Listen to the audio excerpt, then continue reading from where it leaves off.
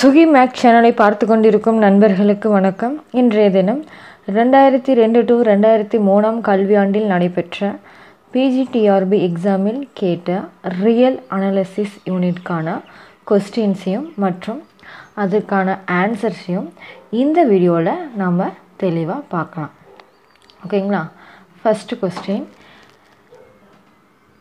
A continuous function on a compact metric space is compact metric ஸ்பேஸில் இருக்கக்கூடிய ஒரு கன்யூனிசன் function எப்படி இருக்கும்னு சொல்லிட்டு கேட்குறாங்க நமக்கு வந்து ஆல்ரெடி தெரியும். யூனிஃபார்ம் கன்யூனியஸ் எல்லாம் கண்டினியூஸாக இருக்கும். ஆனால் கண்டினியூஸ் எல்லாம் யூனிஃபார்ம் கண்டினியூஸாக இருக்க வேண்டிய அவசியம் இல்லை. ஓகேங்களா? ஆனால் எங்கே கண்டினியூஸ் எல்லாம் யூனிஃபார்ம் கண்டினியூஸாக இருக்கும் அப்படின்னா அந்த செட்டோ இல்லை அந்த மெட்ரிக் ஸ்பேஸோ காம்பேக்டாக இருக்கும்போது ஓகேங்களா? காம்பேக்ட் மெட்ரிக் ஸ்பேஸாக இருக்கும்போது அது இருக்கக்கூடிய கண்டினியூஸ் எல்லாமே யூனிஃபார்ம் கண்டினியூஸாக இருக்கும். ஓகேங்களா? அப்போ இந்த கொஸ்டினுக்கான ஆன்சர் வந்து பார்த்திங்கன்னா சி ஆப்ஷன் ஓகேங்களா? ஒரு காம்பேக்ட் மெட்ரிக் ஸ்பேஸில் இருக்கக்கூடிய கண்டிஷன் ஃபங்க்ஷன் வந்து பார்த்திங்கன்னா யூனிஃபார்ம் கண்டினியூஸாக இருக்கும். இதே கொஸ்டினை ரெண்டாயிரத்தி ஒன்று பிஜிடிஆர்பிலையும் கேட்டிருக்காங்க. அதில் வந்து எப்படி கேட்டிருக்காங்கன்னா ஒரு செட்டில் கண்டினியூஸ் எல்லாம் யூனிஃபார்ம் கண்டினியூஸாக இருக்கணும் அப்படின்னா அந்த செட் எப்படி இருக்கணும்னு சொல்லிட்டு கேட்டிருப்பாங்க. அதுக்கான ஆன்சர் வந்து காம்பேக்டாக இருந்திருக்கணும். ஓகேங்களா? அடுத்து next question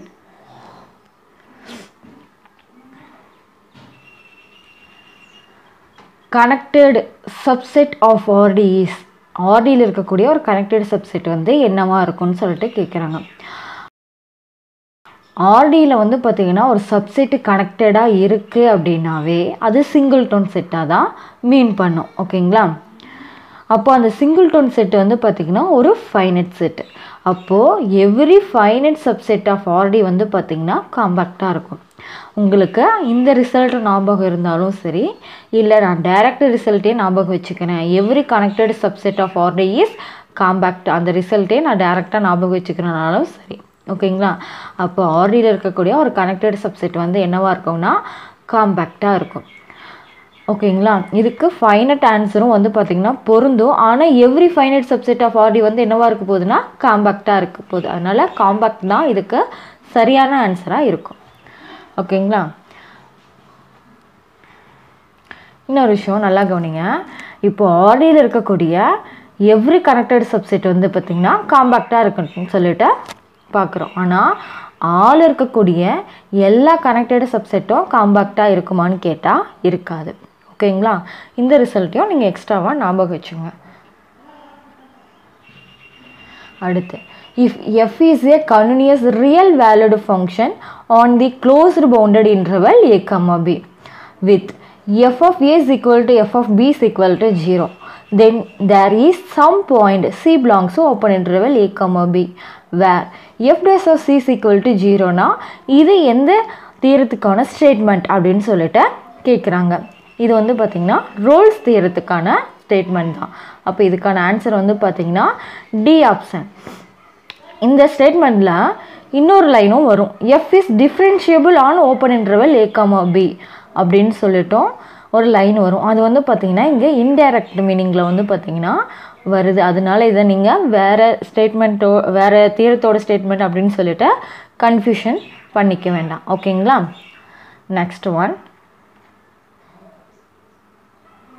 the value of the integral அதாவது இந்த இன்டெக்ரலுக்கான வேல்யூ வந்து கேட்குறாங்க இப்போ இந்த இன்டெக்ரலை நம்ம இன்டகிரேட் பண்ணோன்னா மைனஸ் ஒன் பை எக்ஸு அதுக்கு லிமிட்டு ஒன் டு இன்ஃபினிட்டி இப்போ லிமிட் சப்ஸ்டியூட் பண்ணோம் அப்படின்னா minus one by one by one by infinitive minus of minus one அப்போது ஒன் பை இன்ஃபினிட்டிக்கான வேல்யூ வந்து பார்த்திங்கன்னா ஜீரோ அப்போது ஜீரோ ப்ளஸ்ஸு ஒன்று அப்போ நமக்கு என்ன ஆன்சர் கிடைக்குன்னா ஒன் அப்போது இந்த இன்டெகிரலுக்கான வேல்யூ வந்து பார்த்திங்கன்னா C option one if f dash of x is equal to zero அதாவது ஓ க்ளோஸ்ட் இன்டர்வல் ஏக்காம பியில் இருக்கக்கூடிய எந்த எக்ஸ் எடுத்துக்கிட்டாலும் அதுக்கு அதோட டெரிவேட்டிவ் வந்து பார்த்திங்கன்னா ஜீரோ கிடைக்கிதுன்னு சொல்லிட்டு சொல்கிறாங்க அப்போ அந்த ஃபங்க்ஷன் வந்து எப்படி இருந்திருக்குன்னா கான்ஸ்டண்ட்டாக இருந்திருக்கணும். கான்ஸ்டண்ட்டாக இருந்திருந்தால் தான் அதை நம்ம டெரிவேட் பண்ணும்போது நமக்கு ஜீரோ கிடைக்கும். ஓகேங்களா அப்போது சி ஆப்ஷன் தான் வந்து பார்த்திங்கன்னா கரெக்டான answer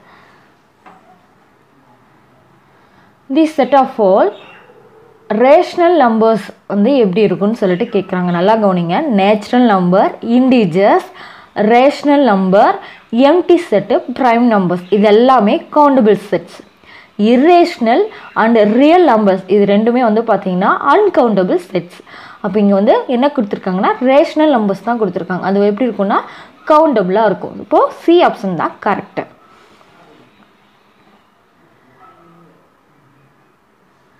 என்ன கேட்குறாங்கன்னா இந்த செட்டுக்கு கிரேட்டஸ்ட் லோயர் பவுண்ட் வந்து பார்த்திங்கன்னா கேட்குறாங்க இப்போது நான் இந்த செட்டை வந்து எஸ்ன்னு சொல்லிட்டு டினோட் பண்ணுறேன் இதில் வந்து இருக்கக்கூடிய இது இந்த செட்டை கவனிங்க. இப்போ பை ப்ளஸ் ஒன்று அடுத்து pi plus zero point five அடுத்து pi plus zero point three something வரும். இது எப்படி போகும்னா tends to pi plus zero pi plus ஜீரோவே நெருங்கும் ஆனால் பை ப்ளஸ் ஜீரோ ஆகாது. ஓகேங்களா? அப்போது இதில் வந்து கிரேட்டஸ்ட் லோயர் பவுண்ட் என்னென்னா பை லீஸ்ட் அப்பர் பவுண்ட் என்னென்னா பை ப்ளஸ் ஒன்று அப்போ அப்பர் பவுண்டும் இருக்குது லோயர் பவுண்டும் இருக்குது கிரேட்டஸ்ட் லோயர் பவுண்டும் இருக்குது லீஸ்ட் அப்பர் பவுண்டும் இருக்குது அப்படின்னா அப்போ அந்த எஸ் வந்து பவுண்டேடாக இருக்கும். ஆனால் இந்த பை வந்து பார்த்திங்கன்னா எஸ்ஸில் கிடையாது. அப்போ எஸ்ஸுக்கு மினிமா இல்லை. ஆனால் எஸ்ஸுக்கு வந்து பார்த்திங்கன்னா பை ப்ளஸ் ஒன்று எஸ்ஸில் இருக்கனால மேக்ஸிமா இருக்குது ஓகேங்களா? அப்போது இந்த கொஸ்டினுக்கான ஆன்சர் வந்து என்ன கேட்குறாங்கன்னா கிரேட்டஸ்ட் லோயர் பவுண்டு இல்லையா? அப்போ ஏ ஆப்ஷன் தான் கரெக்டு பை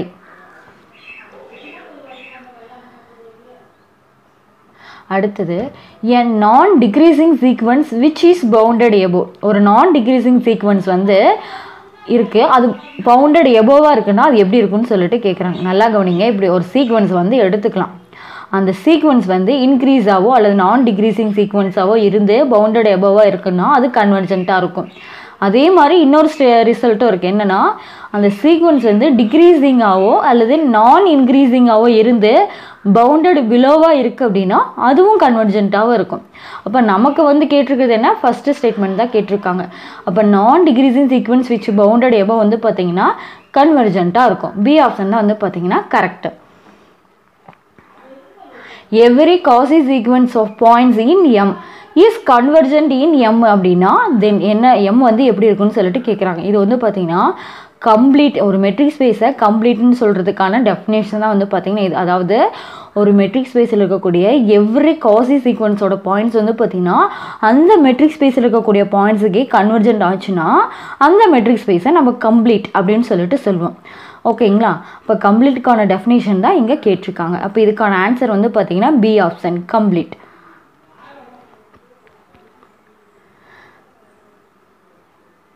அடுத்து நல்லா கவனிங்க.